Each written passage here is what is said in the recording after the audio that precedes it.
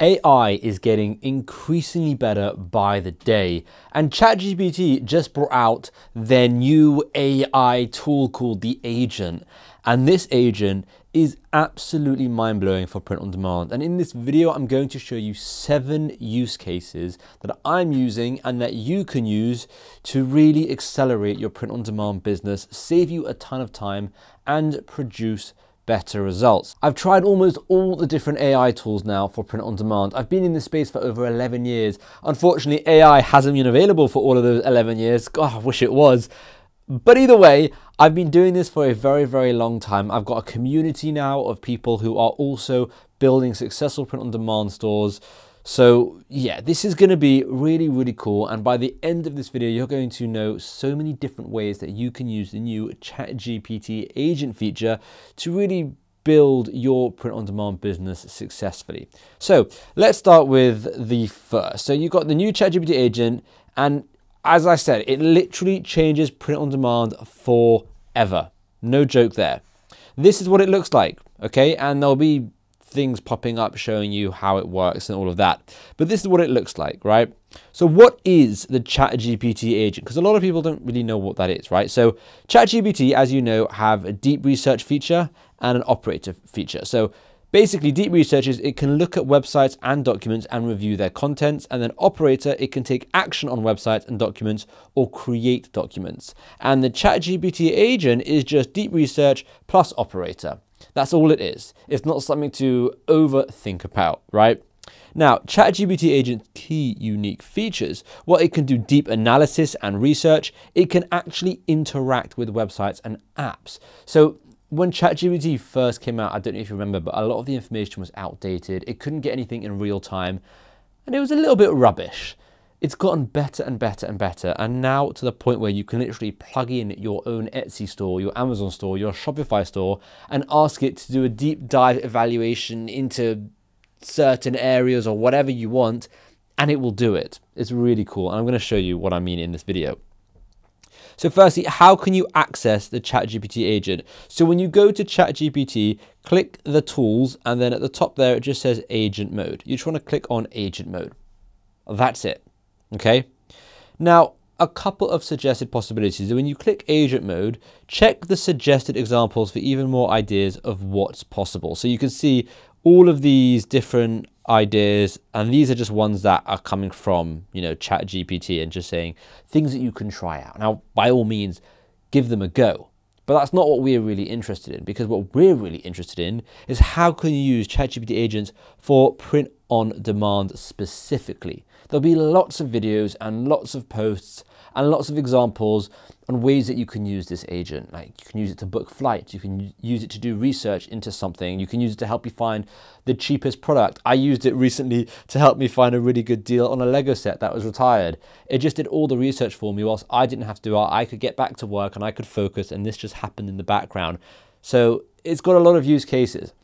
But we really care about the use cases of print on demand. So we're really just at the beginning of the possibilities here. And these are just some ideas based on what I am currently using it for. So number one, a site and design analyzer. Since ChatGPT agents can browse websites, analyze images, and give detailed reports, we can use it to analyze our own website. So this is the prompt that we use, okay? Don't know why that keeps happening. I think it's because my hand. This is the prompt that we used. An incredibly deep dive analysis on all of my thumbnails, giving me suggestions that I may not have thought of.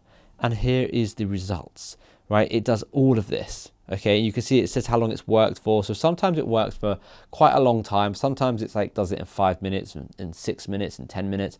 But sometimes it can take like an hour which is a little bit strange and sometimes you have to like refresh it when it does that. It's a little bit of a glitch and I'll go through the drawbacks and the glitches at the end of this video. But you can see, so this is one of the designs and then it says main visual clarity issues, suggested fixes. Now, I want you to remember this is AI at the end of the day and you should always try and stick to the principles and the concepts that I'm teaching in these videos and in my community.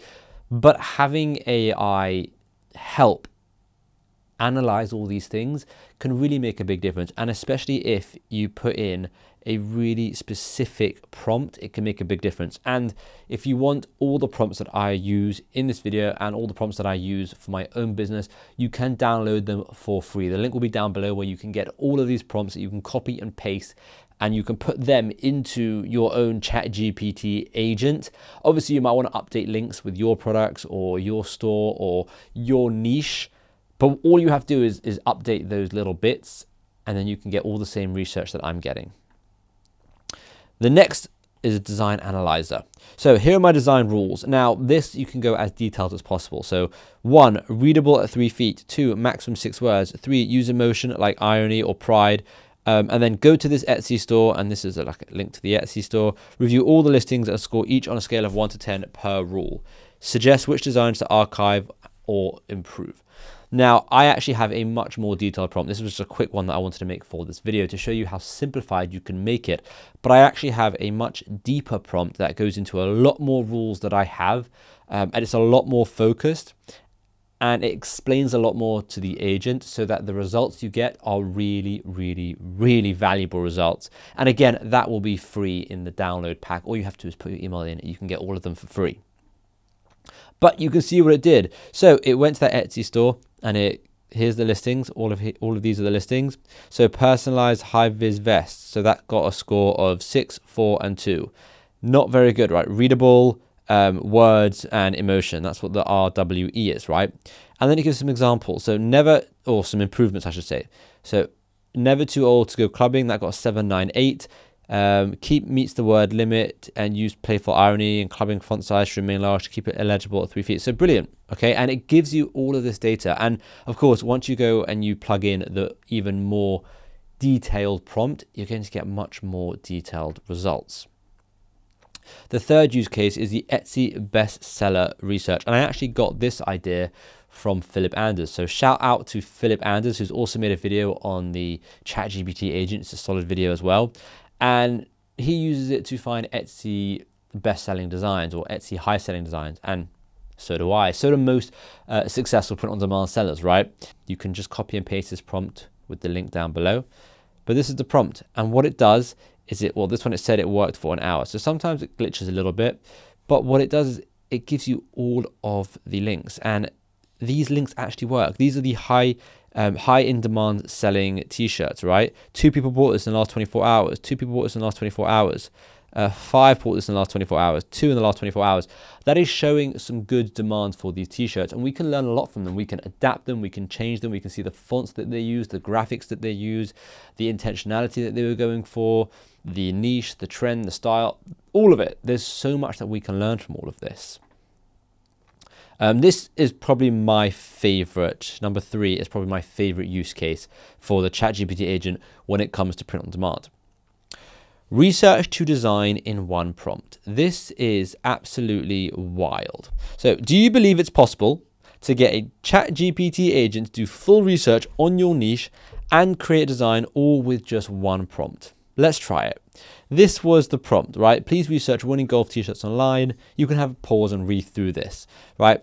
And what this did is it it researched all the top best-selling uh, golf t-shirts right it's got all the phrases over here as you can see right it observed design trends it used unique concepts for your store and it produced a design all from this one prompt right now imagine setting and forgetting. So you put this prompt in right and then you get back to work. You get back to doing something else. You get back to your own research. You get back to uploading, you get back to making more ads or, or, or, or making your mockups, whatever it is. And this is just running in the background. How mad is that? That's amazing. And you can change this, right? You could ask it to make five designs. You can ask it to do even more in-depth research. You can expand on this prompt as much as you want and give it as many instructions as you want and it will go and do it. And it will show you, it, it, it will show you it working through and doing it. As you can see here on the video, you can see it's actually working through it in real time. You can watch you can watch what it's doing. It's really, really cool. Um, so yeah, I mean, just let let that sink in, right? I did zero research for this design. The ChatGPT agent did everything for me. I did zero designing to create this. The agent did that. And here you go. Now look, there's a lot to be worked on. Well, not a lot to be worked on, to be honest. The, the words, if the words could just be the same width, right? And this could have the same angle like this, like it's got up there. I would say that's a really, really good design. That's a design that could definitely go on a t-shirt, that could definitely go on a tote bag, go on a hoodie, um, and you could definitely sell it in your store. So again, this is something that was done in the background. I didn't do anything. That's amazing. And it did it in five minutes. Look, this worked for five minutes and it did it. That's absolutely insane. That's really, really, really cool. Okay, number five, uh, uh, the fifth use case, Reddit research. Now, the reason why I think this one is so cool is because a lot of, a lot of um, true fans, I should say, a lot of fanatics in your niche, whether your niche is golf or fishing or cooking, whatever, a lot of fanatics will go to Reddit. Reddit is where like deep, deep fans go and they discuss topics. So I use Reddit a lot to kind of come up with ideas, to see what people are thinking, to really get in the mind of people in my niche. Being able to use the ChatGPT agent to do that for me will literally save me hours upon hours of browsing through different forums, reading tons of things. Like, it's brilliant. So, can you research Reddit posts for the best phrase ideas for funny golf t shirts? And it will do that. And again, you can give it way more example, you can give it way more instructions to really dive deep into the Reddit post, say exactly what you're looking for, ask it to compile a list in a very specific way. It's absolutely brilliant. It's a massive game changer. It's probably the first game changer that we've had in the last three or maybe even six months. It's huge. A lot happens on Reddit, and it's a great place to do research. And of course, here we go. Self deprecating or, or, sarcastic ones, sarcastic encouragement after a bad shot, uh, quips about distance, layups, and scoring, comments about lost balls or directional misses. And these are all design ideas, right? Um, I didn't see it, but it sounded good. At least you had the right club. Um, just not my day. Um, let's go for some of these ones. Let's have a look. Hard to believe, but I've never had a lesson. Loft equals lack of effing talent. This is brilliant. Really, it's just so cool. And these are all based on what people are saying in Reddit, right? Um, basically, I mean, as I said here, basically, this is I don't know what is going on with um I think it's when I do that. Very strange. Anyways, it's more in-depth uh, phrase research phrase research than any other version of ChatGPT, and it's based on real market data, real people, real real stories, real posts, real concerns, real emotions, and it's so cool. Okay, number six is Mood Board Helper. I was fully expecting this one, by the way, to completely fail, but to my surprise, it actually worked really well. So you can ask it to create you a general mood board. So search Pinterest, Amazon, Google, Redbubble, and Etsy for funny golf t-shirts. Collect 30 images of t-shirts showing layouts, fonts, and colors. Build a downloadable PDF mood board and give me the download link. You can also ask it to do winning mood boards. So that's where you ask that it has over 50 sales or reviews, collects 30 images.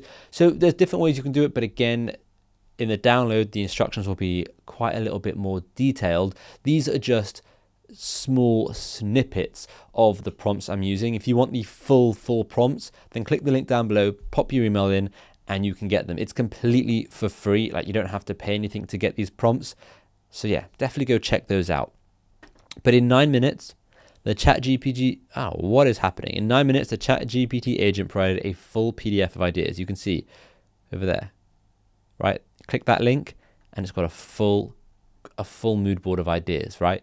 Now, there's obviously some really bad ideas here, like this one, um, this one. So there's there's also, there are some bad ideas here, and once you know the principles, like I said, this isn't perfect. You still need to understand design principles, concepts, um, and things to look out for. Uh, but it definitely gets you off to a really good start. And then number seven, the design red flag identifier. Now, this is really cool. Um, basically, we created a red flag checklist that I shared in my community. If you haven't heard of my community, it's called Design Hub. It's where I help you go from no business to a successful print on demand store, and I teach you everything in between. And there's over 450 people in there. It's a brilliant community, and I share a lot of stuff there. And one of the things I shared last week was the Design Red Flag checklist, and it's basically a checklist of what you should um, look for when you are looking at your designs. These are all the potential red flags um, that you might have in your designs you need to fix. Uh, so what we did is we we said please analyze the top designs on the homepage of and then you put your site in for the red flags listed below and then we list those red flags below and i know this is a, a pdf that's only in the design community but with the link down below with with all my prompts, you will be able to get this prompt as one of them. So technically, it's just a little backdoor way for you to get access to this PDF of the red flags. Um, yeah, don't tell anyone. It's pretty cool. Um, we, we, we, we try to add new PDFs, new infographics, new resources to the community every single week. That's our goal. But anyways, this red flag checklist is really, really cool and it can help identify really bad designs, really good designs, and things to look out for with your designs. So here you go, overall assessment, phrase and tone, placement and size, fonts, graphics, colors, final design, summary, right? And you can get so much detail. You can keep asking it, go further, go deeper, give me more. And it really does a fantastic job. So just a quick a quick point because obviously this isn't perfect. You know, the cons of ChatGPT agent mode the cons of this pen. It's just making, look, what, what is it doing? I don't even know. I don't even know what is going on. Anyway, with any new feature, especially AI, you can expect a lot of hype around the product, but there are always going to be problems.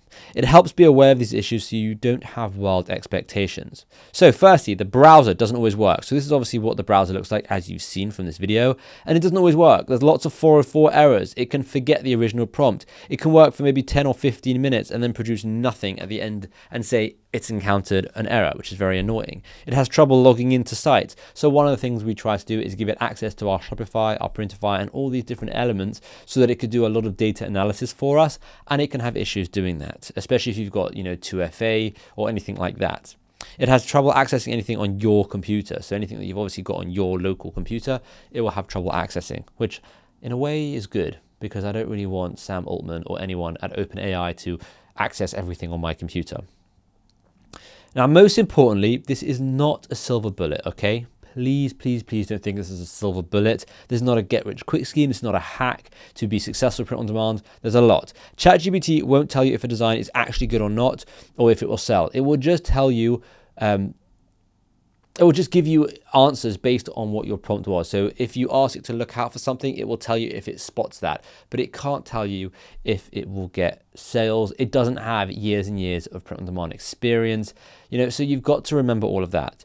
It is a huge step forward, but we're still just at the start of this. So please, please, please don't, you know, rely on it fully. You've got to kind of use your own intuition. You, you should ask people. If you're in the community, you should ask for validation. You should get feedback. But don't just put all your eggs in this ChatGPT agent's basket. You know, you have to lead the strategy. You must be the creative brain and you must tweak the design and get them right. Okay, don't ever blindly rely on ChatGPT, no matter how good it might get. And then lastly, do you want all the, the action prompts I've made for free? So all the prompts in this video, as well as like the more detailed prompts, the ones that you can just copy and paste into your own ChatGPT agent and have it pretty much run your print on demand business and do a lot of stuff for you, then all you have to do is click the link down below, pop your email in, and you'll get access to all of those prompts that I've made for free. But yeah, this this ChatGPT agent is genuinely the coolest thing that's ever come out of OpenAI. I think it's incredible. The, in fact, well, the element of where ChatGPT started making really good designs as well, so you can ask it for designs, that was the first thing. But now this does that as well as doing all this deep research for you, and it can just save you hours and hours and hours of time. So if you don't have access to ChatGPT, then of course this is irrelevant. If you do have access to ChatGPT, really give this a go. It's so cool. And again, just start with all of my downloadable um, prompts, just copy and paste them in. and see where it takes you. Thanks for watching. Hopefully, I'll see you in the next video. And if you want to join the community, the link for that is down below as well. We'd be happy to have you, be happy to help you build your own print on demand or successful print on demand business.